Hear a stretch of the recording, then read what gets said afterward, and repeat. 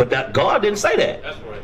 That's how you know that somebody taught us the Bible wrong and they changed God laws and brought forth their own laws. Come on. And he altered seasons and feasts.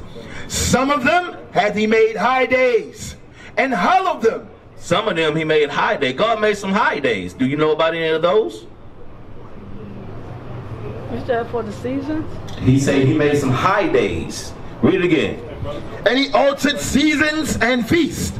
Some of them hath he made high days. Some days he made high days. He altered them and made feasts. And some of them he made high days. Do you know what that is?